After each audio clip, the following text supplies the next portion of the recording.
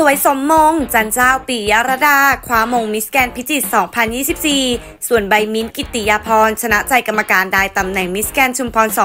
2024 ได้ผู้ชนะเรียบร้อยแล้วสำหรับมิสแกรนด์ชุมพรและมิสแกรนด์พิจิตร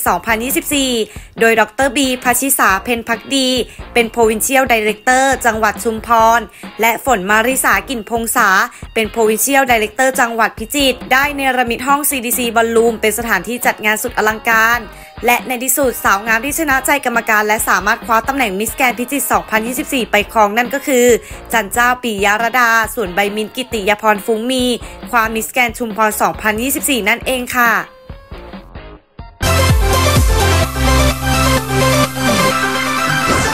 นี้นะคะก็เป็นการจัดงานครั้งแรกของปีนะคะสำหรับการมาเป็น PD ของเอเวทีกองของทั้งชุมพรและพิจิตรนะคะ ก็เป็นการจัดงานที่เรา แล้วก็เตรียมกันมานานพอสมควรแล้วก็ด้วยความทุ่มเทของน้องๆนะคะ ที่ตั้งใจซ้อมและก็ตั้งใจจะทำวันนี้ออกมาให้ดีที่สุดนะคะ ยังไงก็ฝากให้ทุกคนเป็นกำลังใจให้ด้วยค่ะ ดีใจมากเลยค่ะ เกินคาดหวังมากเพราะว่าตอนแรกก็แบบ กังวลว่าแบบสำหรับ 600 ที่น่าจะเยอะเกินไปไหม แต่ว่าตอนนี้บัตรเต็มตั้งแต่ที่จริงเนี่ยบัตรเต็มตั้งแต่ช่วงสองสามวันแรกที่เปิดแล้วค่ะ แล้วก็เราพยายามเปิดบัตรเสริมให้คนค่ะดีใจมากๆค่ะ อยากให้มาทุกคนเลยแล้วก็ทุกคนสวยมาก สวยมากคือยังไงใช่ไหมก็รู้สึกว่ามันเร็วมากจริงๆค่ะหนึ่งปีมันผ่านไปเร็วมาก คือหนูรู้สึกว่ามันเหมือนหนูเพิ่งประกวดมิสแกรนจังหวัดมาเองอะแล้ว